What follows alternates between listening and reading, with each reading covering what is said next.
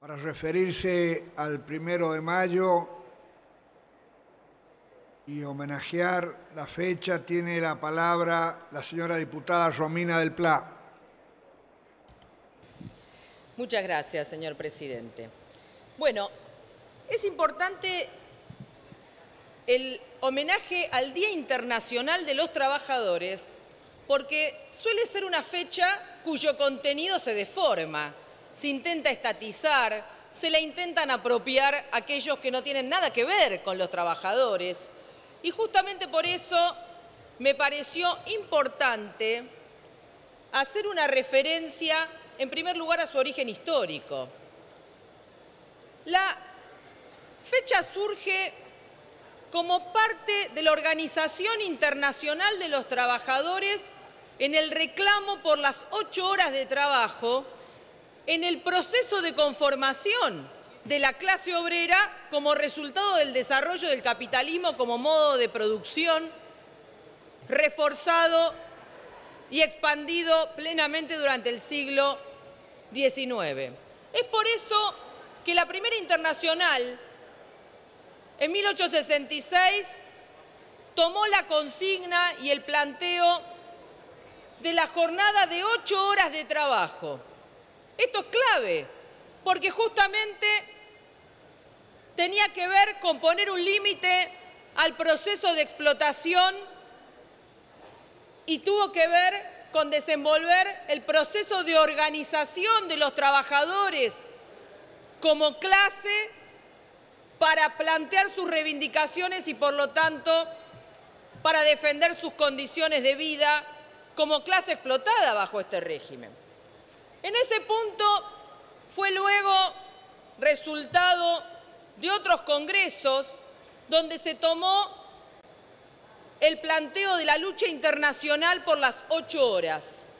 En el marco de esa lucha, que además tuvo que ver con una crisis mundial capitalista a partir de 1873, que dio lugar a una serie de cambios que luego dieron origen a toda la fase imperialista del capitalismo, que se planteó un plan de lucha mundial por las ocho horas.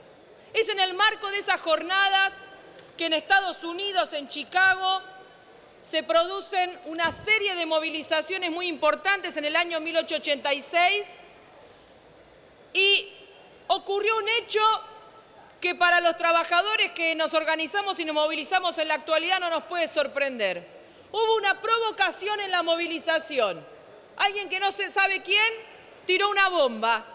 Y como resultado de esa provocación externa a la movilización, encarcelaron y enjuiciaron a los obreros líderes de esa movilización.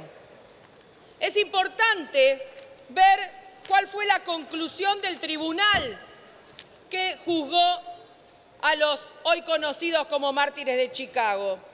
Porque siete años después, cuando se probó que el veredicto había sido de todas maneras una manipulación cumpliendo órdenes, queda claro cuál fue la impresión de uno de los jueces integrantes del tribunal, que dijo, los colgaremos lo mismo.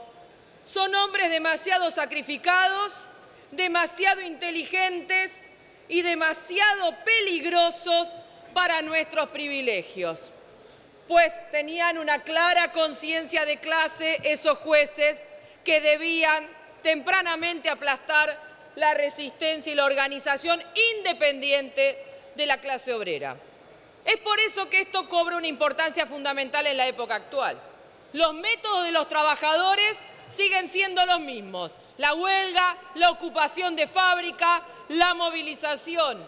Y muy bien lo prueban las recientes ocupaciones de la mina de Río Turbio, de PepsiCo, del INTI, de Interpac, entre otras fábricas. Lo prueba la enorme organización de los trabajadores del neumático liderados por el SUNDA, que han enfrentado los recursos preventivos de crisis truchos que presenta la patronal. Y lo demuestra la enorme huelga que están desarrollando en este momento los trabajadores del diario Clarín que enfrentan los 65 despidos como en su momento enfrentaron ocupando la planta AGR los trabajadores gráficos a los que este gobierno les permitió el cierre de la planta sin ningún argumento.